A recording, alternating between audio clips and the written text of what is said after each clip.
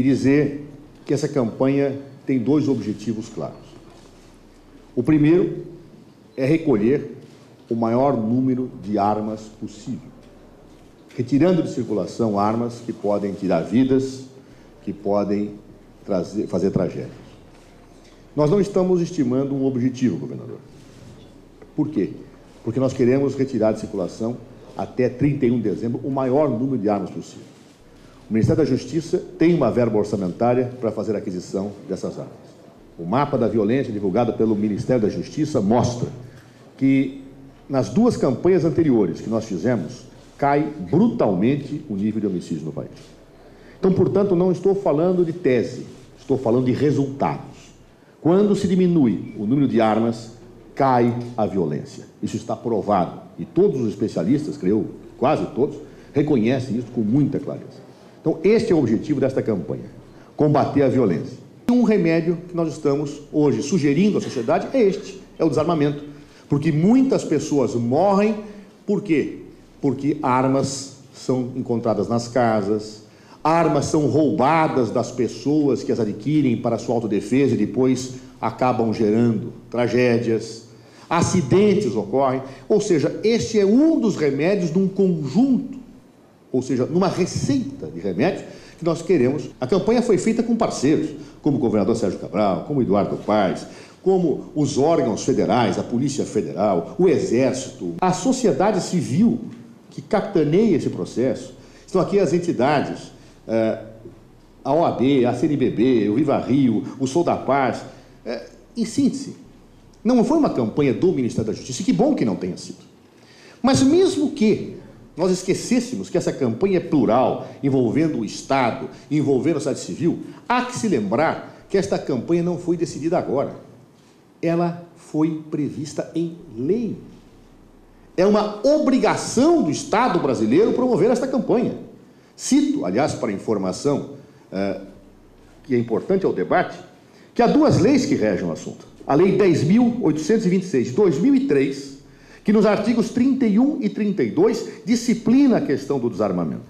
E a lei do PRONAS, a lei 11.530, que no artigo 3 inciso 1, coloca uma diretriz desse programa, o desarmamento.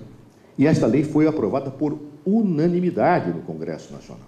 Uma campanha feita não por decisão do ministro da Justiça, mas por uma colaboração do Ministério da Justiça com outros parceiros públicos e com entidades da sociedade civil. Com este objetivo: menos violência, menos tristeza, mais paz no Brasil. Este é o nosso objetivo. E a partir de agora nós conclamamos todos os brasileiros para que primeiro meditem sobre o assunto. E aqueles que se convencerem que a circulação de armas no Brasil é geradora de violência, de mortes, de tristeza, da eliminação de vidas que poderiam permanecer conosco aqui, vivendo e sendo felizes, por favor, se engajem na campanha. Vamos convencer as pessoas a entregar suas armas. Vamos desarmar o Brasil. Conclamo a todos os brasileiros Vamos ao desarmamento. Vamos combater a cultura da violência nesse país. Muito obrigado.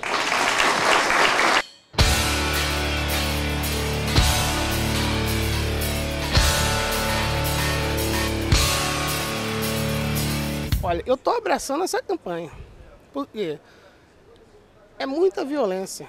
Se você faz uma campanha dessa, você está tirando as armas da rua, você está tirando o crime, está diminuindo o crime da rua.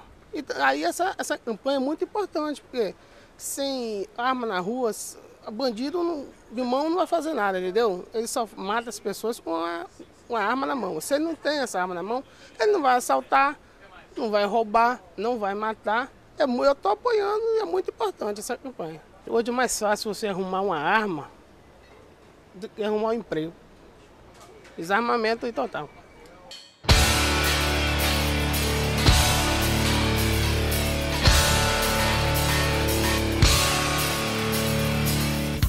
Vim é, a pegar um ônibus na qual esse ônibus é, houve um assalto. É, haviam cinco meliantes é, com, com duas armas, duas armas. Um deles vieram me, a me atingir na, na coluna. Estou na cadeira já há seis anos, porém já fiz várias coisas. Já, já fui campeão brasileiro de handball e vários esportes pratico. Mas a ideia principal que eu aqui é fazer parte desse projeto, retirar as armas que estão na rua.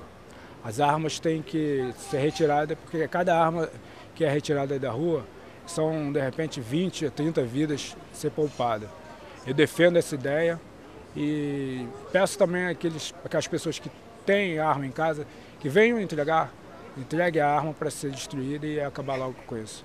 A ideia é que as pessoas venham e entreguem, porque uma sociedade desarmada eu acredito que seja uma sociedade mais feliz e correr menos risco.